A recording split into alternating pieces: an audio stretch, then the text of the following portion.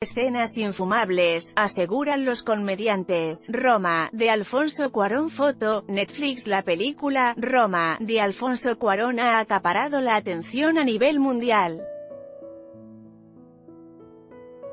Después de sus 10 nominaciones al premio Oscar, nadie es indiferente a la cinta mexicana, aunque no siempre para bien.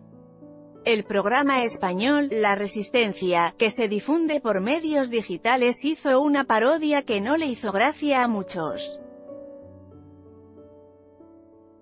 Puedes ir al baño sin darle al pausa, se burlan los comediantes en un skate.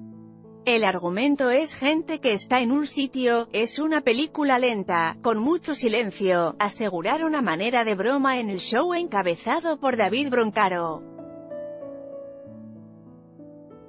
Hay que recordar que Roma es una película íntima que refleja parte de la vida de Cuarón en la Ciudad de México. Se centra en dos mujeres en polos opuestos, una señora de clase media y una empleada doméstica. Escenas infumables, lo poco bueno que pasa no se ve, se burla el programa que cambió la palabra, Roma, por, nada, en la introducción. En redes sociales se generó un debate entre los defensores y los detractores de la producción encabezada por Yalicha Aparicio. Incluso hubo debates con tonos patrióticos.